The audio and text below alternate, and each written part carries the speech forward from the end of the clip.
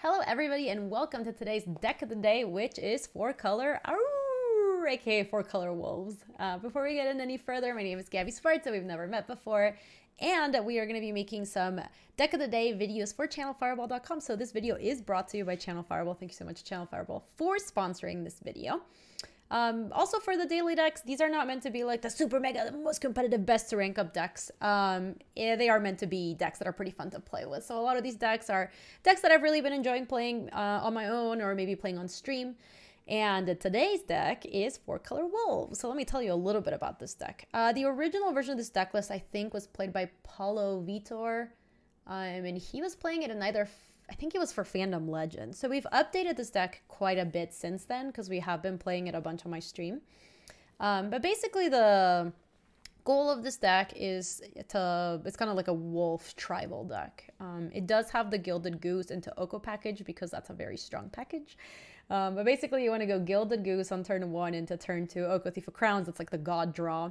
Um, but if that doesn't happen, then this is what you do instead. Um, you have Gilded Goose, Leafkin Druid, and Paradise Druid as your ramp creatures. Um, so these are all excellent uh, for, you know, ramping up into your big payoffs, which is where all your wolves usually are at.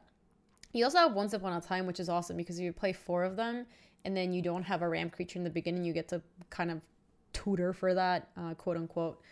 Um, also, if you keep a hand that's like all ramp creatures and no payoffs, you can Once Upon a Time for your big creatures, and then that's also awesome. So Once Upon a Time kind of doubles up as like one of the cheap early plays that you can do.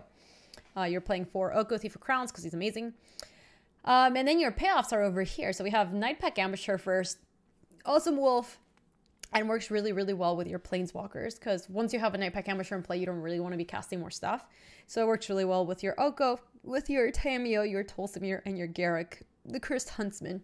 Um, it also is a Wolf Lord, so that works really well with your Wicked Wolf, and it works really well with the wolves that Garruk makes too.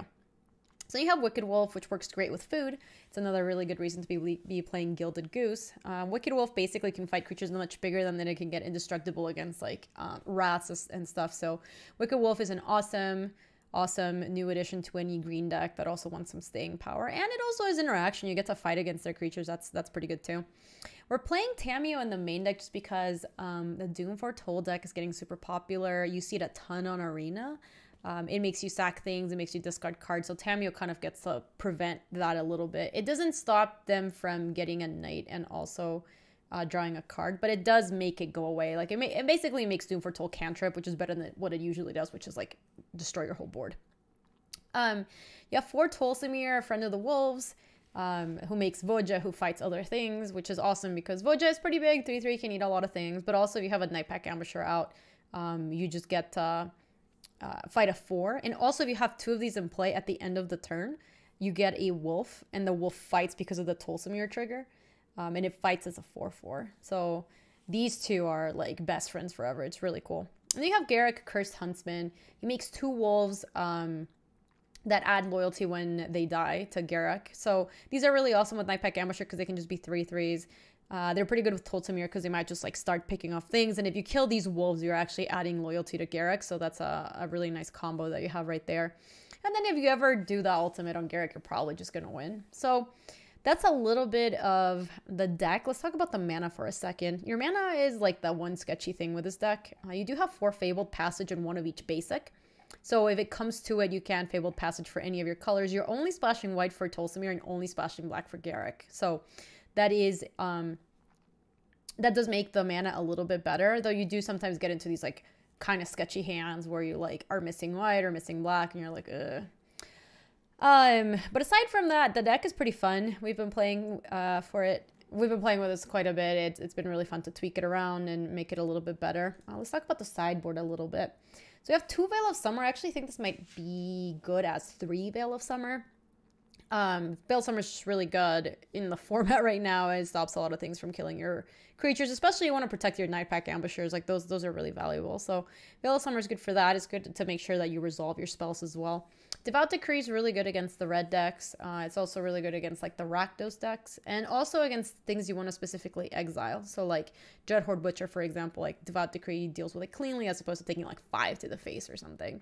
Negate is really good against uh, the creature decks, or sorry, the control decks, and also like the Doom Foretold decks. Like any any or like the Jeskai Fires deck. Anything that has a lot of spells, you want to bring this in. Find Finality is good against the mid-range decks. It helps you grind with the control decks too because you can find for your creatures. Finality is good if they're playing something like Elementals. You can just wrath their board. Uh, Thrashing Brontodon is very good against the red decks, um, especially very good because it's a 3-4. So against the red decks, you can play it as a 3-4. It's got a really big butt. Then if they ever play like uh, Experimental Frenzy, you just get to you know, cash it in and like destroy their frenzy, which is awesome. And then you have two Nissa who shakes the world. This card's just awesome. You have a couple on the sideboard. It's very good against mid range. It's very good against control. It's a really good follow up to like they rather reward your planners and attack them for three immediately. So we will be playing best of one games with this. I like that with best of one, you kind of get to see the deck against a bunch of other decks instead of just like playing one matchup. But I did want to talk about the sideboard in case um, you're interested in taking this into best of three. So let us go into standard ranked. By the way, if you are watching this on YouTube, which I guess is the only place you can really watch it, I guess you can be watching on channelfireball.com, but it's also through YouTube. So I'll make sure that it's uh, linked in the description. So you want to export the deck from there and import it into your MTG Arena, MTG Arena account. It's very easy to do that. Um, this hand's really good. We get to curve Leafkin Druid into hopefully Nightpack Ambusher. Actually, Paradise Druid is a little bit better because they cannot, definitely cannot interact with that. Also, how cute are these? Um, I love it so much. I know some people don't like the pets on Arena. Oh, hold on. I need to scoot out of the way. Speaking of foxes, my dog's trying to get in the room. Uh, let's play breeding pool and... I hear you, Jules. Let me go let this dog in real quick. She's gonna keep scratching at the door, poor thing.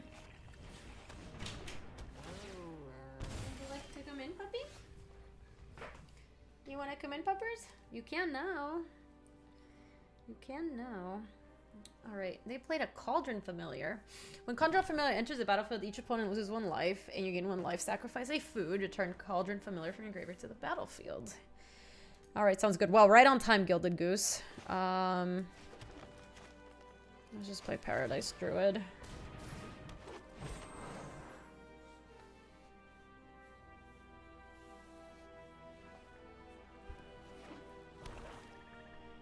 So these are... I have not played against any decks like these so far, actually. Hmm. Can't really block that. Wow, that was a really good draw. Okay, so now... Julie, the door's open. Come on in. Now I just get to fight the priest. Jules, come in. Got the dogs just scratching at the door instead of opening the door. She knows how to do it too. Ooh, I wish I had a food. If I had one more mana, I could Gilded Goose and Wicked Wolf fight Eat the Midnight Reaper. I think instead, I can maybe trick them. I can attack with my Wicked Wolf, and if they block with Midnight Reaper... Okay, they didn't do it. I'm just gonna pass and play Ambusher at the end of their turn then. That would have been nice. We could have just, like, this is basically like plus one, plus one. Um, I accept that that's not a big deal. You can just exile like the Leafkin Druid. Doesn't seem like it's doing a whole lot here.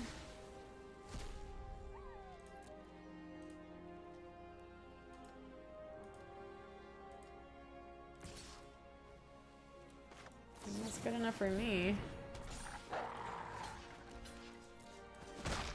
Come in, Jules.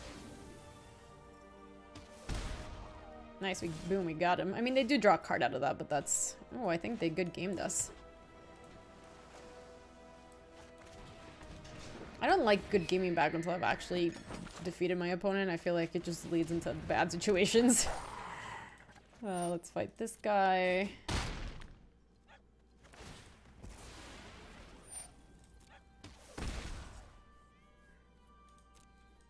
We can attack with these two. They're just super dead now.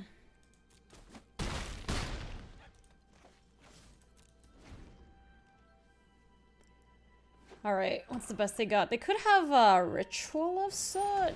Cavalier of Night doesn't really cut it.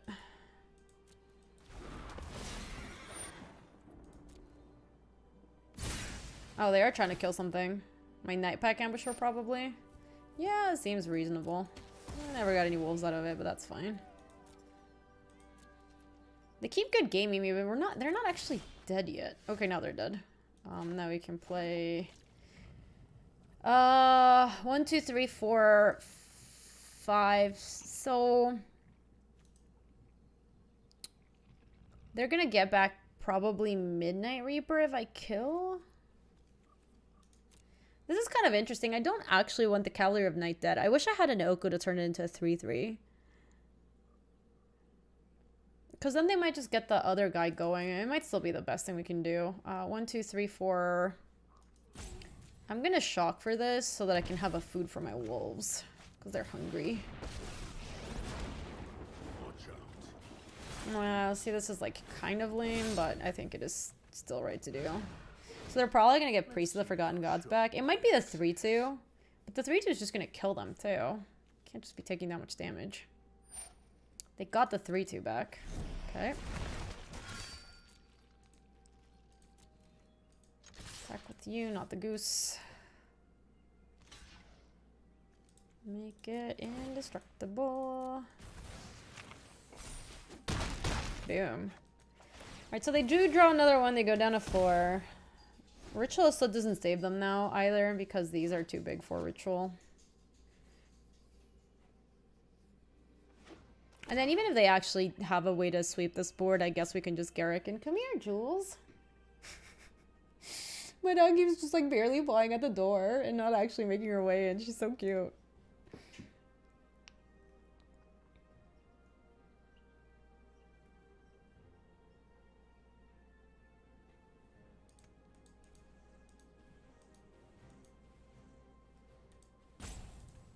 Oh, come on.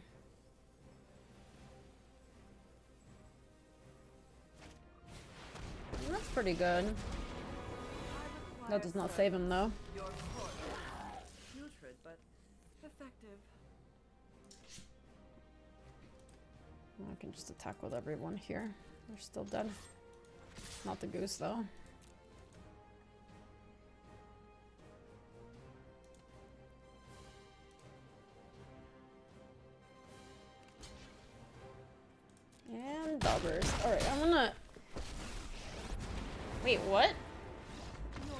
Was a weird bug. I've never seen that one before. It just, it made it look like they recast Lily? That was bizarre. Alright, let me join another match and let this dog in because she can't figure it out. Hey dog face, wanna come in? Wanna come in? Alright, I can't do- oh, look at my good dog, she's coming.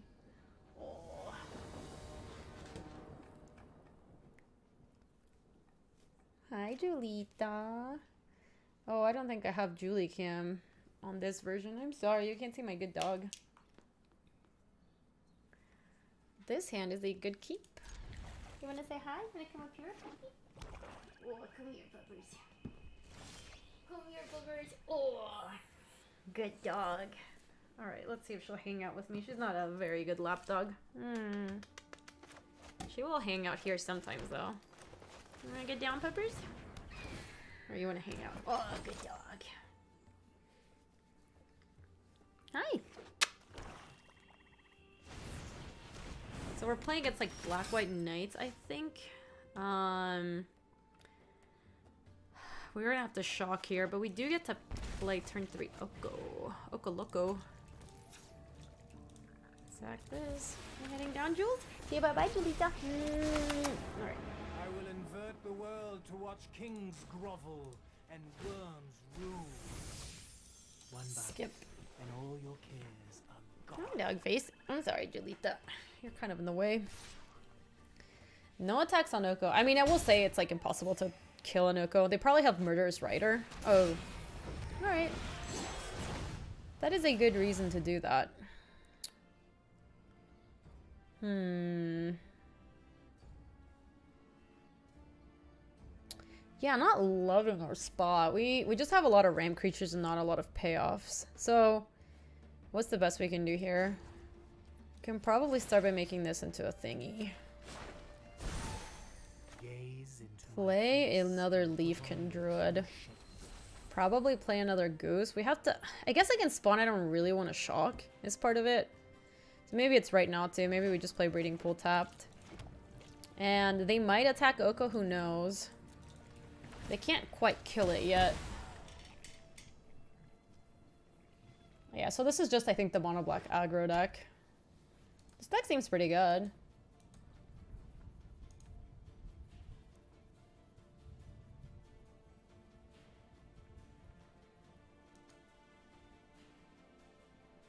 Yeah, I think they're trying to figure out if it's worth it to attack Oko. They keep hovering over it. I can't steal it.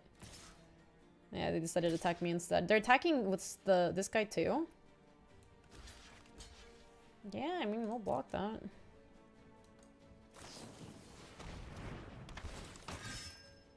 Death Touch and Lifelink until of turn. It's totally fine.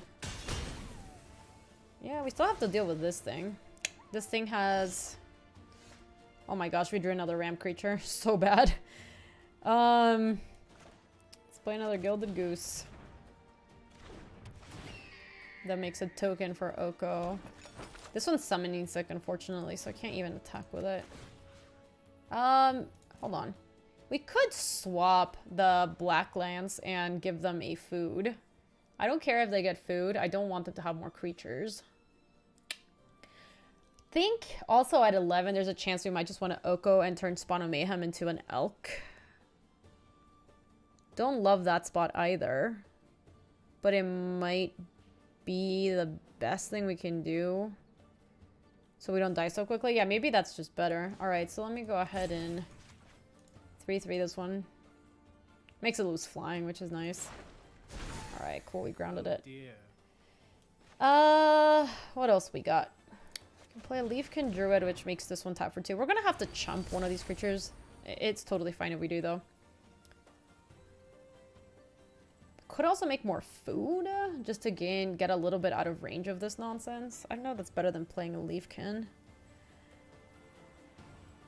I think it's better to just develop our board. They're not to be playing Wrath. Okay. Look at my board. 0, 2, 0, 2, 0, 3, 0, 3, 3, 0, 3. Okay, they have another one. Sure. Okay. I think we're actually doing fine. If we draw any of our payoffs, I think we'll be totally fine. Though they do have this castle. Um, draw some more cards. Oh, that's not good for me. Yeah, I'm taking some amount of this. Uh, I think we can block with one of the goose. One of the geese. The goose is loose. Bye-bye, goose. I'm sorry. Mm, I know that Knight of Ebon Legion is going to be big. It's to get a counter. Okay, so we don't have to use the Fabled Passage yet since we already have four cards. We can decide what we need it to be. Not a land, good lord.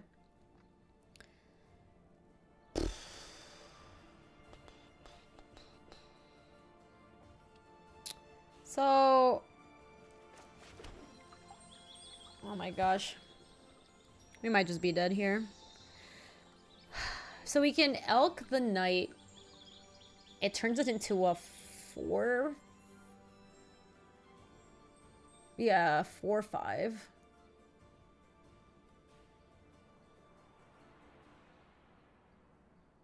It keeps the counter and then it becomes base three, three. Oh, so, so sorry, it's gonna be a four, four, not a four, five.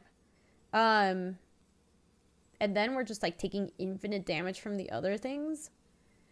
I guess we could turn this thing into a 3-3 so that we actually have blocks, chump the Knight of Ebon Legion for a turn, and make more food.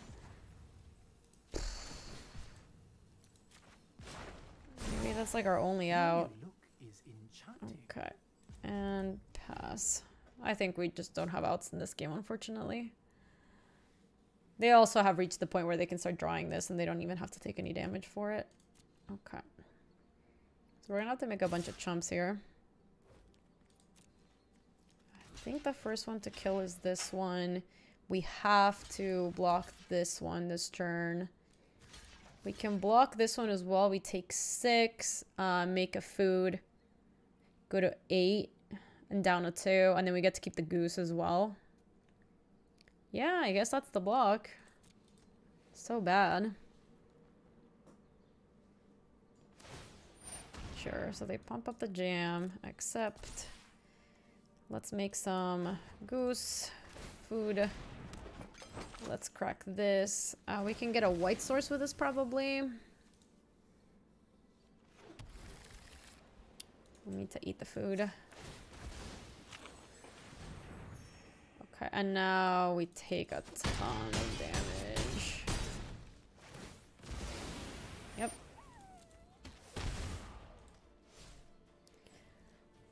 I don't believe there's anything that saves us now. Maybe... Would Voja even help here? Garruk? No, not even Garruk gets us out of this. I mean, I guess we're gonna look at our draw step and realize that we are, in fact, very dead. Rough. My fox is so sad, too. Defeat.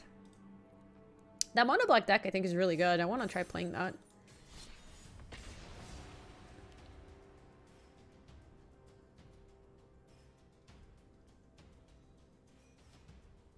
Hi, Julita. Hi, Julita. Oh, she's so good. She's by my feet and she's so warm.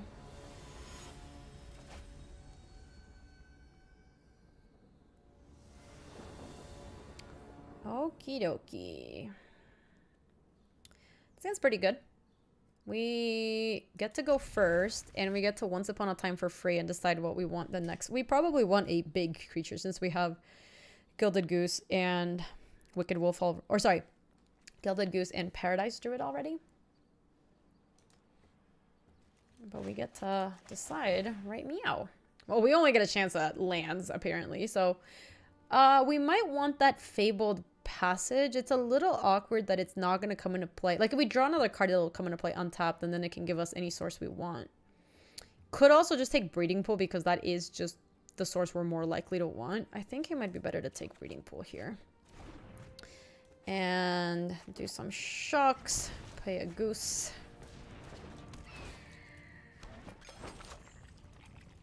The goose that sounds like a hawk for no reason. for some reason, I guess. Okay, that's good. So it's fine. So we don't want to crack the food yet if we don't have to. Let's just put Paradise Druid. No attacks with a goose. But this looks like it might be like a Jeskai Fires deck, so they might not have a lot of stuff for us to fight against. That means that we might just want to run out the Wicked Wolf and have... Well, now that that happened, I'm just going to play Oko. And animate my food. Sounds really good. I would like to animate it. Would also like to play an Overgrown Tomb tapped and attack, not the goose. Because now they might go, okay, no, so this might just be blue-white stuffs. Okay, they're gonna Teferi bounce my thingy. At least the Paradise Druid can kill Teferi. Okay, I accept. So many wicked wolves. Okay, so step one, Paradise Druid kills Teferi. I think step two is Oko make a food and then cast the Wicked Wolf and not do anything else. And then that way, if they are playing Deafening Clarion, which we don't know still, we have to shock for this one. Then we have a way to protect this for from from dying.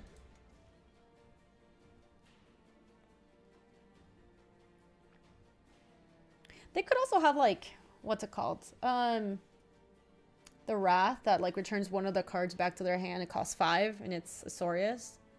They could also have that, and the Wicked Wolf is good against that as well. No plays. Stone nothing?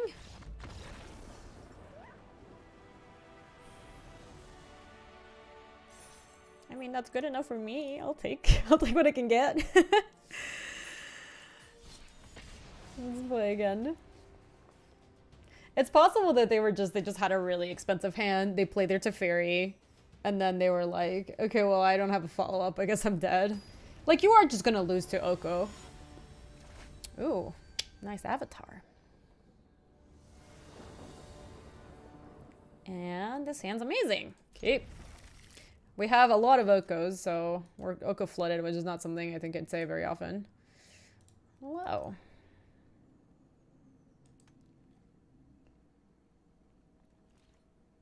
Let us go. Temple Garden. I thought I said hello. I think it might have not worked. Hello. Play some goose. They're probably like, hello, you played goose. I don't like you anymore. Ooh, all right, let's play some Oko. Well, we've had turn one, two Oko a lot this video. Tech does work a lot better when you go goose into Oko. Make another food. The world to watch kings grovel. I think a little merriment is in order. Hello. So we're playing like Golos Gates, I think, is what's going on here. Um, let me animate this. If that's the case, I would like to draw like some of my bigger creatures. You see the humor here. Um, Gates Ablaze would kill a lot of these things.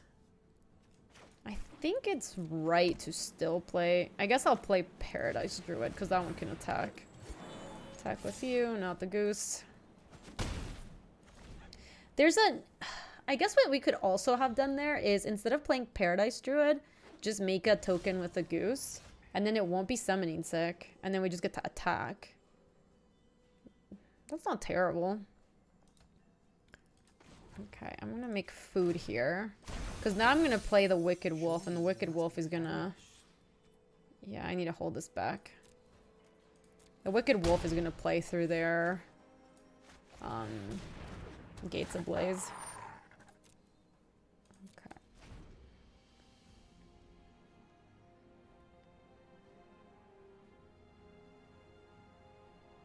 Okay, so if that's Gates Ablaze, we get to keep the Wicked Wolf, which is nice, and Oko gets to keep cranking out food.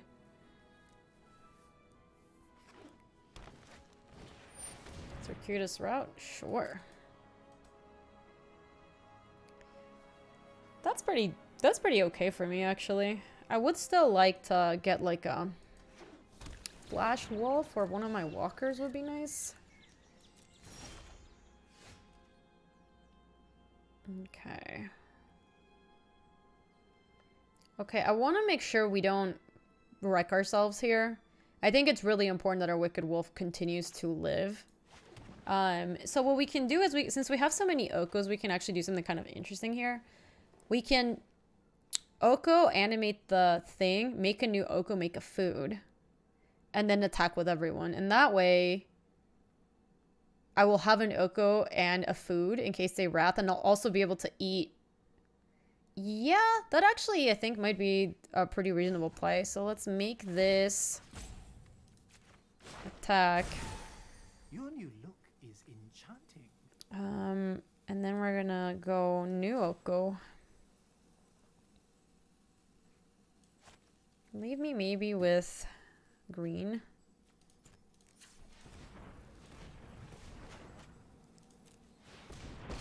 Keep the new Oko. Make some food. Okay, and then we can send with food and food, wicked wolf, and we can keep the paradise druid just to make sure I have food. Then that way I hit them for three, six, nine. Wicked wolf goes to four, and then I have a new food, so I attack for another seven. That seems pretty good. Okay, yeah, so let's leave paradise druid back. Okay, cool. So I have a food for this and a food for and a food for him. Look at me, I'm just like rationing food out for everybody. so Golos isn't good enough here and neither is Gates Ablaze. If they play like two creatures, that's still not good enough.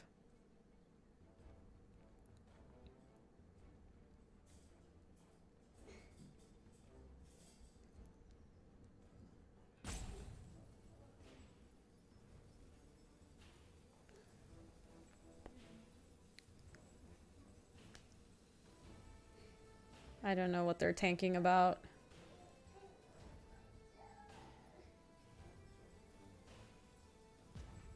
I think they're trying to figure out a line that... Okay, so Golos is not good enough.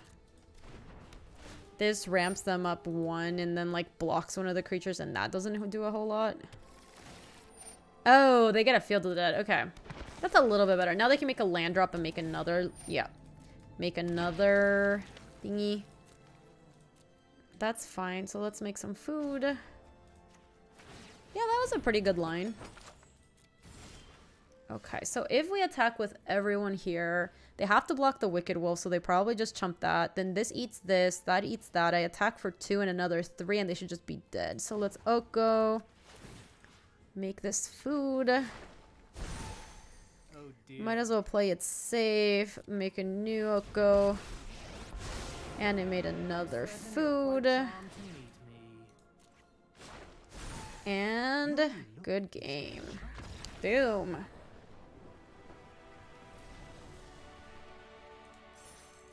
Fun. Alrighty, everybody. Hope you all enjoyed playing with some four color. This deck is really fun. I still think there's some tweaking to do with the deck, um, but I do like where we've taken it from where we started. Um, it does give you a better matchup to the Doomfall decks. It also makes, I think, the deck is a little bit more cohesive. I think the original version of this deck was playing like the Great Henge and a couple other cards that were kind of like they're obviously very good, but like maybe not the best for this deck. I think the Great Henge is probably better in different decks. So uh, I'll make sure that this is linked in the description. If you have been playing with this deck, I would love to hear uh, what you thought. And since this is probably my first video that I'm going to be doing for Channel Fireball, I would love to hear in the comments if you liked it, uh, what you liked about it, what you think would be better for next time, and any other thoughts you might have. Also, what you've been liking in Standard. It's a cool, exciting new Standard, so that's pretty cool. Thanks again to Channel Fireball for sponsoring today's video. I will make sure it's linked in the description so you can play it right there. And if you want to catch me or any of the rest of my content, that is on twitch.tv slash gabyspartz. I stream every weekday in the afternoons mountain times. And I also have a lot of my videos up on youtube.com slash gabyspartz. So there should be more deck techs and limited stuff over there. Thanks again for watching. See you later.